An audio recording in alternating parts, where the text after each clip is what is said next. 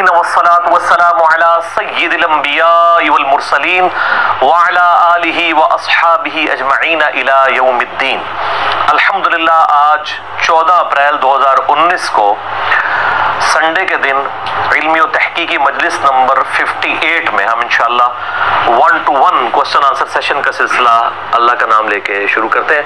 आज इंशाल्लाह ताला हमारे वलीद भाई वन टू वन क्वेश्चन करेंगे। इंशाल्लाह ताला पहली दफ़ा माशाल्लाह ताला।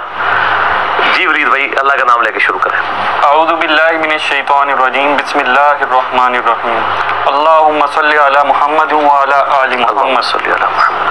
अला। अस्सलाम वालेकुम वरहमतुल्लाहि वरहमतुल्लाहि वबरकातुहू भाई पहला सवाल क्रिटिकल है। जी। पिछले वीक में ब्लैक होल की पिक्चर मंजर आम पर आई। इस हवाले से कुछ सब, कुछ तबसरा फरमा दें। लेकिन ये जो ब्लैक होल की डिस्कवरी है ये इंसानी हिस्ट्री में चंद बड़ी डिस्कवरीज में से एक डिस्कवरी है। और हम तो इस तरह की जब भी कोई डिस्कवरी आती है तो हमें तो इस हर डिस्कवरी में खुदा की शान नज़र आती है। कुल्ल यौमिन हुआ फ़ी शान। हर दिन अल्लाह एक नई शान के साथ जहूर होता है, लोगों के सामने।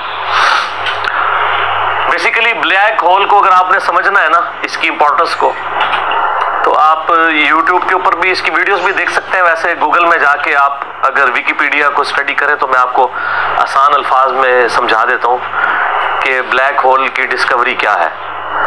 बेसिकली आज से तकरीबन 100 साल पहले 1915 के अंदर 1915 में एल्बर्ट आइंस्टाइन जो इंसानी हिस्ट्री में चंद बड़े, आप समझ लें फिजिक्स की फ़ील्ड के लोग हुए हैं, उनमें से एक हैं। 1879 में ये पैदा हुए, और 1921 में इन्हें नोबेल प्राइज भी दिया गया फिजिक्स की फ़ील्ड में, और 1955 में इनकी डेथ हुई। और इनका वो जुमला बड़ा मशहूर है। Science without religion is lame religion आपको वो इल्म देता है जो नॉलेज ऑफ़ अनसीन है। और वो ज़ाहिर है कि रिवील्ड नॉलेज क्रिएटर की तरफ़ से आता है। दूसरा एक्वायर्ड नॉलेज है जो साइंस का इल्म है। तो रिवील्ड नॉलेज वही का इल्म हो या एक्वायर्ड नॉलेज साइंस का इल्म। The knowledge obtained through observation and experiments ये दोनों लाजमो मलजूम है। तो religion without science science without religion is lame and religion without science is blind. Religion science के बगैर अंधी है। रिलीजन को समझने के लिए आपको साइंस समझनी पड़ेगी। इसलिए देख लें, कुरान पाक में एक हज़ार से ज़्यादा आयात जो है ना वो साइंस की फ़ील्ड से रिलेटेड है, जिसको हम साइंस के फ़िज़िकल फिनोमिना ऑफ़ नेचर कह लें। अल्लाह ताला की कुदरत के, यानी जो मज़ाहिर इस कायनात में फैले हुए हैं। God is the only explanation of all the physical phenomena in this universe खुदा ही वजाहत है इस कायनात में होने वाले हर फ़िज़िकल इवेंट की। इस कायनात में जो कुछ हो रहा है, उसकी एक ही वजाहत है कि ये किसी की मर्ज़ी से हो रहा है। मेरा यूट्यूब के ऊपर एक क्लिप भी डिटेल रिकॉर्ड हुआ था। Quran versus modern science. इसके ऊपर अगर आपको शौक है तो आप देखें, आप बुनियादी उस थीम को समझेंगे। साइंस सिर्फ़ फ़िज़िकल लॉज के साथ डील करती है, जो कानून कुदरत है अल्लाह के बनाए हुए। उन्हीं लॉज को यूज़ करके साइंस ह्यूमैनिटी की बेहतरी के लिए काम करती है। कोई लॉ खुद से प्रोड्यूस नहीं कर सकती। वो पाबंद है उसकी। अल्लाह ताला ने लॉ ऑफ़ बॉयसी रखा है कुत उछाल। इसको साइंस यूज़ करती है और उसकी बुनियाद के ऊपर बैरी जहाज़ जो है समुद्रों में चलते हैं और हवाई जहाज़ हवा में। लेकिन लॉ ऑफ़ बॉयसी तो अल्लाह का बनाया हुआ है ना। वो खत्म हो जाए अगर। लॉ ऑफ़ बॉयसी अगर अर्शमीदस ने बताया तो उसने डिस्कवर किया है। अर्शमीदस क्रिएटर नहीं है इस लॉ का। डिस्कवर करने वाला है। साइंस जब कोई चीज़ डिस्कवर करती है तो बाज औकात लोगों को ये वसवसा आता है साइंस ने वो कारनामा कर लिया। साइंस तो सिर्फ़ डिस्कवरी कर रही है। सूरज मशरक से निकलता है। ये एक डिस्कवरी है, लेकिन इस कानून ने सूरज को पैदा नहीं किया। अंडे से चूजा निकलता है। और फिर अंडे में ये ये तब्दीलियाँ आती हैं, साइंस उसको डिस्कवर करती है। लेकिन उन तब्दीलियों ने और उन लाज ने अंडा नहीं बनाया, अंडा क्रिएटर ने बनाया। तो डिस्कवरी से हमेशा आप हर स्टेप अल्लाह की तरफ़ तय कर रहे होते हैं। तो ये कायनात अल्लाह ताला का फेल है। और कुरान अल्लाह का कौल है।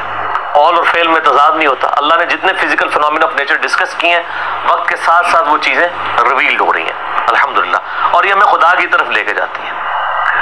तो मैं एल्बर्ट आइंस्टाइन की बात कर रहा था। 1879 में पैदा हुए 1955 में फौत हुए। 1921 में उन्हें नोबेल प्राइज दिया गया फिजिक्स की फ़ील्ड के अंदर। और फिजिक्स की फ़ील्ड में इनसे बड़ा कोई साइंटिस्ट ना इनसे पहले गुजरा है, ना इनके बाद। बल्कि इन्होंने तो फिजिक्स का धारा ही बदल दिया। इनसे पहले तो लोग कंक्लूड कर चुके थे न्यूटन को।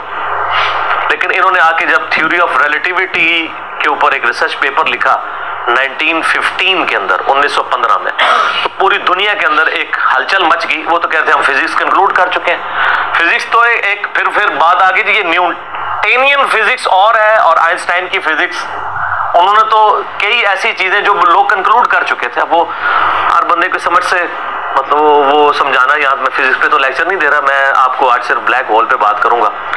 तो उन्होंने उस वक्त मैथमेटिकली ये चीज़ प्रूव की थी कि कायनात के अंदर यानी उन्होंने देखा नहीं था ये उनका ये कॉन्सेप्ट था कि अगर किसी जगह पे बहुत ज़्यादा मैस कंसंट्रेट कर जाए और उसका वॉल्यूम ऑलमोस्ट ज़ीरो निग्लिजिबल हो उस मैस के अंदर ग्रेविटेशनल फोर्स कुत कशिश सकल, जिसकी वजह से चीज़ें एक दूसरे को खींचती हैं। ये मैं ग्लास जब यहाँ से छोड़ूँगा तो नीचे जाएगा, ऊपर नहीं जाएगा, इसलिए कि ज़मीन इसे अपनी तरफ़ खींच रही है। तो उसकी एक ताकत है, जिससे वो 9.8 मीटर पर सेकंड स्केयर की एक्सेलरेशन होती है। तो उन्होंने कहा था कि अगर ऐसा मैस कायनात में कहीं एग्जिस्ट करता हो, कि उसका वॉल्यूम तो ऑलमोस्ट ज़ीरो हो, लेकिन उसका जो मैस है वो वहाँ पे इंटेंस मैस ऐसा कंसंट्रेट करे तो उसकी ग्रेविटेशनल फोर्स इतनी ज़्यादा होगी कि उसके पास से भी अगर कोई सितारा गुजरेगा तो वो उसको हड़प कर लेगी। जिस तरह एक वर्ल्ड टैक्स करता है। ब्लैक होल एक खलाई वर्ल्ड टैक्स है। जिस तरह समुद्री भवर होते हैं ना, जिनमें बड़े बड़े बैरी जहाज़ भी डूब जाते हैं। चक्कर खा रहा होता है, कोई भी चीज़ के क्रीज भी है, वो उसको पहले सक करती है, फिर अंदर डुबो देती है, फिर खत्म। इस तरह खला के अंदर भी ऐसे वर्ल्ड टैक्स हो सकते हैं जहाँ पे कंसंट्रेटेड मास एग्जिस्ट करता हो, और वो ग्रेविटेशनल फोर्स इतनी होगी कि इवन लाइट भी उसमें एंटर होना तो वो भी एस्केप नहीं कर सकती। जो इस कायनात की सबसे तेज तरीन चीज़ है और एब्सोल्यूट कांस्टेंट है। आइंस्टाइन ने तो ये भी कहा, ना टाइम कांस्टेंट है, ना मैथ कांस्टेंट है। स्पीड ऑफ़ लाइट ये कांस्टेंट है, लेकिन वो भी उससे एस्केप नहीं कर सकती। और स्पीड ऑफ़ लाइट आपको पता है कितनी है? थ्री हंड्रेड थाउज़ेंड यानी तीन लाख किलोमीटर एक सेकंड में। रोशनी इतनी तेज है कि एक सेकंड में ज़मीन के सात चक्कर काट सकती है यूँ। एक लाख छियासी हज़ार मील फ़ी सेकंड या तीन लाख किलोमीटर फ़ी सेकंड। ज़मीन का circumference forty thousand kilometre यानी एक तरफ़ से चले, वापस आए फोर्टी थाउज़ेंड किलोमीटर है। तो एक सेकंड में रोशनी ज़मीन के सात चक्कर काट सकती है। इसीलिए कायनात के फासले जो है वो रोशनी के एतबार से मापे जाते हैं। ये इतने लाख नूरी साल। और एक नूरी साल ही बहुत ज़्यादा होता है। वन लाइट ईयर ये कि रोशनी एक साल तक इसी रफ्तार से चलती है तो जितना फासला तय करती है। वो तो आप मेरा हुई अल्लाह वाला लेक्चर देख लें मसला सिक्सटी उसमें मैंने फिर बताया कि कायनात के फासले कितने हैं। तो आज हम ब्लैक होल के ऊपर बात कर रहे हैं। तो वो ब्लैक होल का उनका एक कॉन्सेप्ट था। कि ऐसा अगर हो तो हो जाएगा। फिर साइंटिस्ट ने उस पर काम करना शुरू किया। आप हिस्ट्री देखें, करते करते बारह तीन, चार साल पहले से इन्होंने अभी वो उसके ऊपर, यानी दुनिया में जितनी टेलीस्कोप्स थी बड़ी बड़ी आठ टेलीस्कोप्स इन्होंने फिट की, जो कई, यानी सालों तक वो इमेज लेती रही वो इमेजेस जोड़ के तो उन्होंने बहरल एक ब्लैक होल ऐसा दरियाफ्त कर लिया है कि जो वाकई जहाँ पे ये पूरी पूरी कहकशाएँ भी गायब हो जाती हैं। और ये फिजिकली उसकी वीडियो भी उन्होंने मंजर आम पे ले आए। तो सर, ये तो क्रिएशन है ना जी? असल तो इन सारी चीज़ों के पीछे क्रिएटर है। God is the only explanation of all the physical phenomena in this universe science तो सिर्फ़ आपको चीज़ों की नो हाउ देती है। जो पीछे विल ऑफ़ क्रिएटर है विल ऑफ़ गॉड है साइंस तो वो फिर आइंस्टाइन ने खुद ही कह दिया ना कि science without religion is lame and religion without science is blind तो ये ब्लैक होल की दरियाफ्त, बहुत बड़ी दरियाफ्त है। बाकी जो लोग इसको धक्के से वो कुरान पाक की आयात में फिट करने की कोशिश करते हैं, वो सारी हमारी असेसमेंट्स ही हैं। उस तरीके से एक जिस तरह सूरतुल वाक़या में आयत वो लेके आते हैं ना। फला उकसिमु बिमवाक़िन नुजूम व इन्नहु लक़समुल लौ तअलमून अज़ीम। मैं कसम याद फरमाता हूँ, उन जगहों की जहाँ पे सितारे डूबते हैं। और काश तुम जानते होते कि कितनी बड़ी कसम है जो हमने याद फरमाई है। तो बाद लोगों ने इस आयत को ब्लैक होल के साथ रिलेट किया कि सितारों के डूबने की जगह वो ब्लैक होल्स हैं जहाँ पे पूरी पूरी कहकशाएँ गायब हो जाती हैं। मे भी ऐसा हो भी सकता है। जो पुराने मुफसरीन है वो इसको सितारों की मनाजिल कहते हैं। तो मेरा मौकफ यह है कि कुरान पाक की आयात आफाकी हैं। हमारे पुराने मुफसरीन को अगर कोई बातें समझ नहीं आई है ना किसी मसले में और उन, उनकी जो इतनी ऑब्जर्वेशन थी उसमें ही वो फिट करते थे वो अपनी जगह ठीक थे। आज अगर कोई नई डिस्कवरी होगी हम उसमें इसलिए फिट करते हैं कि अल्लाह ताला ने कुरान पाक को क्यामत तक के लिए मुसलमानों या इंसानियत की रहनुमाई के लिए रखा हुआ है। हर आने वाला वक्त कुरान पाक की नई चीज़ें लोगों के सामने लेके आएगा। ये जो अलग का तर्जमा हमारे पुराने लोग क्या करते रहे? एक रब पे रबी कल लदी खलक, खलकल इंसान मिन अलग तो वो बाद लोग पहले तर्जमा करते थे, कुरान यानी इंसान को अल्लाह ताला ने खून की फटक से पैदा किया। हालाँकि अलग का ये कोई तर्जमा अरबी के अंदर इसके लिए कोई लिटरेचर की बुनियाद नहीं है। अलग तो अरबी में कहते हैं सस्पेंडेड चीज़ को, लटकी हुई चीज़, मुअल्लक उर्दू में भी हम लफ्ज इस्तेमाल करते हैं। और इसी तरीके से अलग का तर्जुमा आज की एक, यानी मॉडर्न दौर में अरेबिक में लीच के लिए भी इस्तेमाल होता है। झोंक जो होती है। और उसकी अगर शक्ल को देखें आप, यानी जो एम्ब्रियो है रहम मादर में वो इनिशियली सस्पेंडेड फॉर्म में लीच की शक्ल में होता है। तो अब जो नए लोग तर्जुमा कर रहे हैं, वो कह रहे हैं, हमने जोंक नुमा सस्पेंडेड चीज़ की हालत में, रहम मादर में बच्चे को, जनीन को एम्ब्रियो को रखा। तो वो कहते हैं ये तो पुराने वालों को तो पता था। पुरानों को नहीं, लेकिन अल्लाह को तो पता था और अल्लाह ने इस चीज़ को कुरान पाक में एड्रेस किया है। सूर्य हामीम, सजदा की आखिरी आयात है। सनुरीहिम आयातिना फिल आफाकी वफी अनफुसिहिम हत्ता यतबय्यन लहुम अन्नहुल हक। अन करीब हम जमीनों, आसमान में और तुम्हारी जानों में तुम्हें ऐसी निशानियाँ दिखा देंगे कि तुम पुकार उठोगे, तुम पे बात खुल जाएगी कि कुरान हक है, खुदा की जात हक है। तो ये हर आने वाला जमाना, हर साइंटिफिक डिस्कवरी खुदा की तरफ़ लेके जाती है। मैं अक्सर कहता हूँ ना कि साइंस तो सिर्फ़ डिस्कवर कर रही है। जल्ला किस तरह आता है? टेक्टोनिक प्लेट्स की डिस्टर्बेंस से। अब अगर साइंस से पूछें, वो डिस्टर्बेंस कौन करता है? उसका टाइम पीरियड कौन डिफाइन करता है? वो कहते हैं it is physical phenomena of nature और फ़िज़िकल फिनोमिन ऑफ़ नेचर के पीछे तो खुदा है। वो डिसाइड करता है। कायनात में होने वाली हर चीज़ मौजजा है। ये अलग बात है कि हम चंद मौजात के आदि हो चुके हैं। अगर किसी शख्स ने ये ऑब्ज़र्व ना किया हो कि चूजा अंडे में से निकलता है, एक लम्हे के लिए सोचे। और वो पूरी ज़िंदगी अंडा खाता रहे, उसे एक दिन बताया जाए कि ये जो तुम अंडा खाते हो ना, ये जो तुम्हें इतने खूबसूरत चूजे और मुर्गियाँ नज़र आती हैं, इसमें से निकलती है। वो कहेगा, मैंने दर्जनों दफ़ा तोड़ा है। इसमें तो कोई ऐसी दूर दूर तक चीज़ नहीं है कि इसमें से चूजा बन सके। ईमानदारी से बताएँ, ऐसा होगा कि नहीं? या एक बेकदर बीज किसी को दिखाया जाए और उसे ये बताया जाए, ये जो इतना बड़ा तुम दरख्त देख रहे हो ना, ये इसमें से निकला है। वो कहता है, यार, इसमें से कैसे इतना बड़ा दरख्त निकल सकता है? वो दरख्त तो इतना बड़ा है, ये तो इतना सा है। वो तो छह अरब गुना बड़ा है, लेकिन हम आदि हैं। आप फूलों को देखें, अगर फूल किसी को, जिसको ये ना पता हो, ये ज़मीन की काली मट्टी में से निकलते हैं, वो कभी भी नहीं मानेगा, मट्टी में तो दूर दूर तक ऐसी कोई चीज़ नहीं है। फ्रूट को देख लें। कायनात की हर चीज़ एक मौजूदा है। ये अलग बात है कि हम चंद मौजों के आदि हो चुके हैं। इसलिए हमें वो छोटे लगते हैं। वरना मैं अल्लाह की कसम उठा के कहता हूँ कि मुर्दे का ज़िंदा होना, ये छोटा मुआवजा है। अंडे में से चूजे का निकलना उससे बड़ा मुआवजा है। मुर्दा तो वो पड़ी हुई है, लाज वही ज़िंदा हो रही है ना। चूजे और अंडे का तो कोई लेना देना ही नहीं दूर दूर तक। उसमें से एक लेसदार मादा है। आप वो लेसदार मादा उसमें से निकाल के ओपन एयर के अंदर ले आए, फिर आप उसमें से जरा चूजे की चौंची को एक बना के बता दें। अभी तो हम अंडा बनाने के लिए किसी को कह ही नहीं रहे। अंडा तो को बनाने का सोच भी नहीं सकता। तो ये जितने physical phenomena of nature discoveries होती हैं, इसमें हमारा एटीट्यूड प्राइमरी ये होना चाहिए कि हम इसके बाद खुदा की शनाख्त करें। कुरान पाक की आयात में उसको ज़बरदस्ती घुसेड़ने की कोशिश ना करें। कहीं कुछ बन भी रहा होता है, कहीं नहीं भी हो रहा होता। हम भी यानी कोशिश करते हैं, जो करीब करीब वो बात कर देते हैं। अदरवाइज़ मुझे भी सारी बातें पता है, जो जो लोग करते हैं। लेकिन ये सारी चीज़ें कुरान में ना भी लिखी हो। असल चीज़ ये है कि हर फ़िज़िकल फिनोमेना आपको अल्लाह की तरफ़ लेके जाता है। तो ये ब्लैक होल की डिस्कवरी भी अल्लाह की कुदरत की बहुत बड़ी निशानदेही क्योंकि जिसने डिस्कवर किया है, उसने तो इसको पैदा नहीं किया।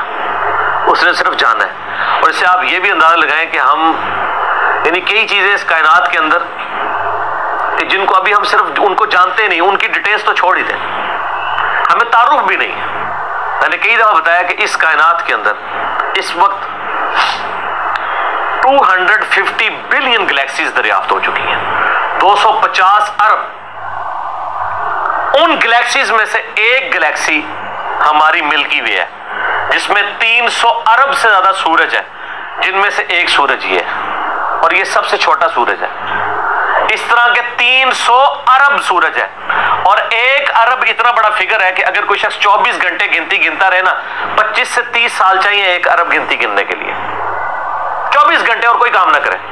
आप छियासी हज़ार चार सौ सेकेंड, हर सेकंड में एक दफ़ा गिने तो आप एक लाख की भी गिनती पूरी नहीं कर सकते। और 25-30 साल तक गिनते रहे तो एक अरब है। तो 300 अरब सूरज इधर है। और इस तरह की 250 अरब गैलेक्सीज है। इसीलिए साइंटिस्ट कहते हैं कि समुंदर के रेत के जर्रे जो समुंदर के किनारे पे हैं, वो कम है। कायनात में जो सैटेलाइट्स हैं स्टार्स हैं, वो इससे ज़्यादा है। इतनी बड़ी कायनात है, सर, कोई इमेजिन नहीं कर सकता। और फिर उसकी जो, उसके अंदर जो हारमोनी है, सर, वो सबसे बड़ी बात है। कायनात खाली बनाई नहीं, बना के छोड़ नहीं दी है। इतनी बैलेंस है कि वो किसी के चलाए बगैर चल ही नहीं सकती।